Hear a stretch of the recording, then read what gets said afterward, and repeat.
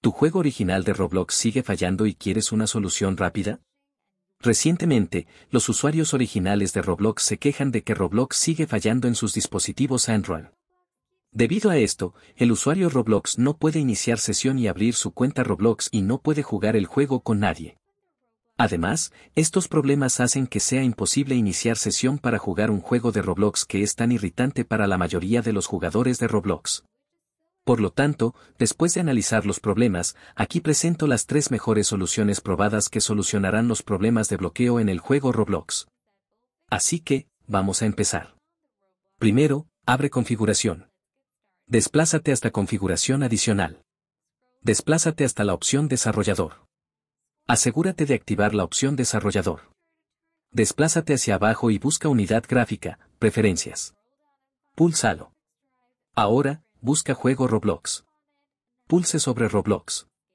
Elija controlador gráfico del sistema. Ahora, vuelve atrás. Desplácese hacia abajo y pulse Permitir superposición de pantalla en configuración. Ahora, vuelva atrás y desplácese hacia abajo de nuevo. Encuentra esta opción siempre Crash Diálogo. Active esta opción después de eso. Ahora, seguir adelante y seguir el segundo proceso. Para seguir el segundo proceso, abre ajustes. Desplácese hacia abajo hasta Apps. Pulse Administrar aplicaciones. Busca la aplicación Roblox. Pulsala. Ahora, toca Inicio automático. Pulse Otros permisos. Habilite la configuración de ventanas emergentes. Pulse Ahorro de batería. Pulse Sin restricciones. Pulse Borrar datos. Elija borrar todo el caché. Pulse Aceptar. Después de eso, eliminar Roblox desde el fondo de su dispositivo. Antes de comprobar tus problemas, asegúrate de abrir Google Play Store. Escribe Roblox. Ahora, actualiza tu juego Roblox en tu dispositivo Android.